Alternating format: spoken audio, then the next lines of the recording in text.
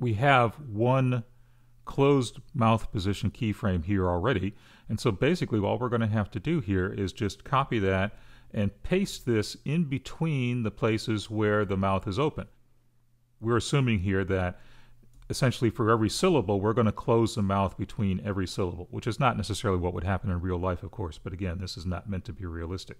So if these two are open position, open mouth position marker points here, we should just be able to get the closed position by positioning it in between those two points. So again, just selecting that closed position keyframe, copying that, and then pasting it in there. And we're just going to go along through here and paste these in in between the open mouth position keyframes. Just dragging through here and just roughly positioning these.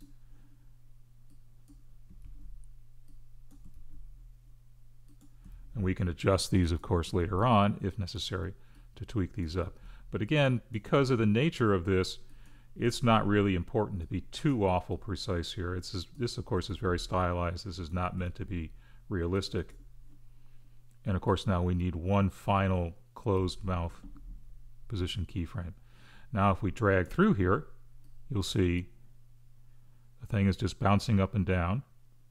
And if we do our RAM preview, and if everything has worked out well, let's show the whole timeline here we should get a reasonable, or at least functional, lip sync. I am a serious composer, and this is my serious composer face. I am a serious composer, and this is my serious composer face. Now, some of those work a little bit better than others. Maybe we should adjust couple of these positions here a little bit and see how that looks. I am a serious composer, and this is my serious composer face. So it's possible that it would work a little bit better here if we adjusted some of these forward to anticipate the opening of the syllable, to anticipate the opening of the mouth. Remember, these, we're alternating here between closed and open mouth positions. So if we adjust these things, we just got to make sure that we don't get confused about which is which. So these are the open mouth positions. And of course, these are the things that are going to be lined up with the markers. There's only a couple of frames here, so we just want to make sure that we don't put things on top of each other too much. Only a couple frames to work with, that is.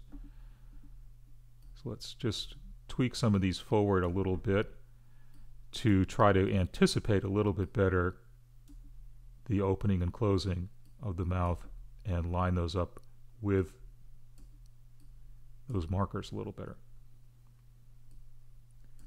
So I'm just kind of sliding everything forward a little bit. And we'll do this one.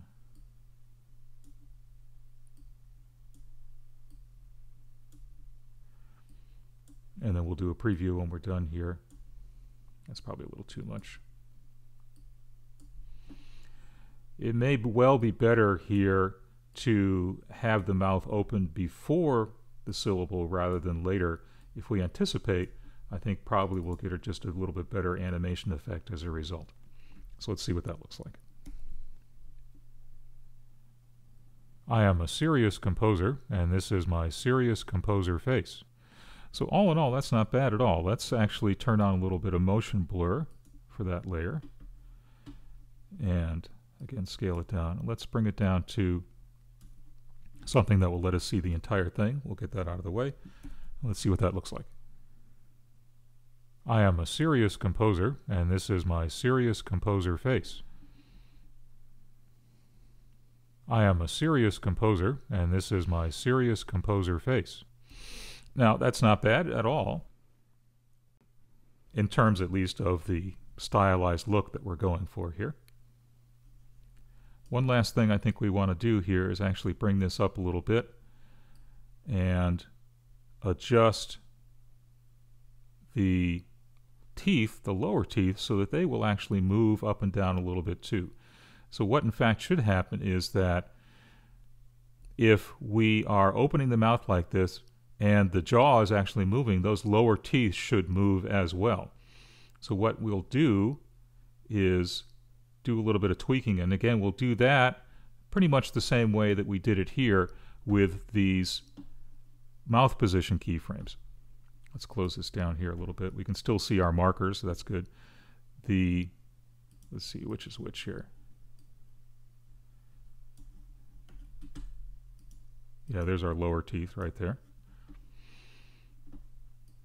So what I want to do is, as the mouth opens, when it gets to about here and shows those teeth, I actually want to start moving those teeth down a little bit. So let's solo position, do a position keyframe right there with the teeth in position. And we'll move to our first like so. And we'll just adjust these teeth down a little bit, just a couple of pixels, so that they're going to slide up and down along with the jaw, but not until the jaw actually starts moving a little bit. So you see that the mouth opens up and then the teeth start to move as well. And now we just need to take those additional keyframes that we just did and paste those in there as well. So we'll do that next.